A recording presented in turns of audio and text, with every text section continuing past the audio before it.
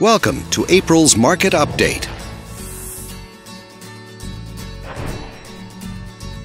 Let's take a look at residential real estate activity in your area during the month of April.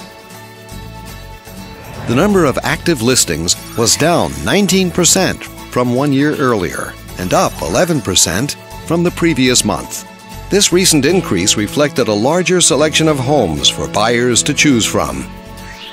As you can see, the median listing price for the month was just under $570,000. Compared to last year, the average number of days that units spent on the market before being sold was down 29%. This lower number of days may signal a positive trend in the local inventory turnover rate.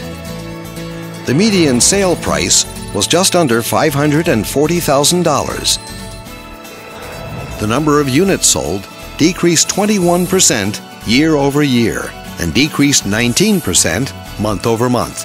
Fewer sales could indicate an opportunity for buyers to negotiate better terms. Thanks for watching. We hope you use this information to make smart, informed decisions in your upcoming real estate transactions. Feel free to contact us for more information or further assistance.